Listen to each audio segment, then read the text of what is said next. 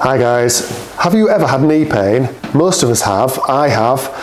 Now, in cycling, it could be something just as simple as adjusting a saddle height, um, but sometimes it could be just a little bit more than that. And that's why today we've got Lucy in from Athletica Physiotherapy just to help us out.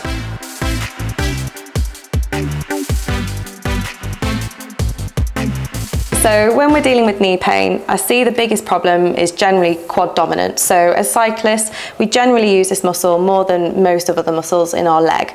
Now this muscle is involved in bending and straightening our knee. And as cyclists, we're going to be doing a lot of that. And when we say dominance, it's basically that this muscle is doing a lot of work, it gets very tight, and then we end up with pain sort of traveling down the tendon and down towards the shin. And this can give you a lot of grumbles around your knee. Yeah. But there are other structures in the knee that can get injured, and these include meniscus, which sits in the knee joint, and ligaments, which help keep the structure of your knees. Now, these generally get injured with a traumatic based injury. So we're looking at sort of coming off your bike, hitting something, if you're mountain biking, um, or on clipping in a weird direction and something feels uncomfortable. Um, but we genuinely, you genuinely know what's caused that because you've had an event and you've noticed it. What we see in a lot of knees is it kind of, you report like a grumble or it's kind of on and off or it's there but it's not and it's not really got a pattern.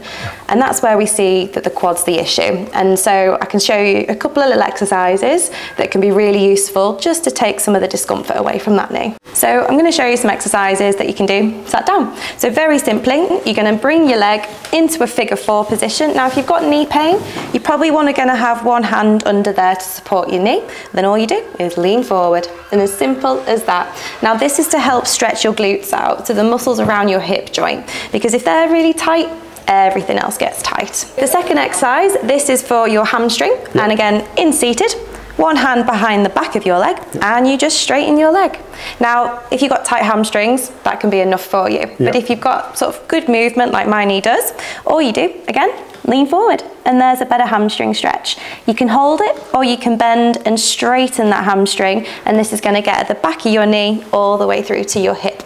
You might get some tingles with that just because your sciatic nerve runs down there and if you're getting any of that, I'd probably go and get that checked as well. And so the third exercise, I'm already in the position. This is to get that nice big quad muscle and a little bit into your hip flexor and you simply put one foot on a chair, your other foot in front and you just drop into your leg and it's as simple as that. So if you want to find out a little bit more uh, about you know what you can do for yourself or if you need any more help, please do get in touch with Lucy at, at Athletica.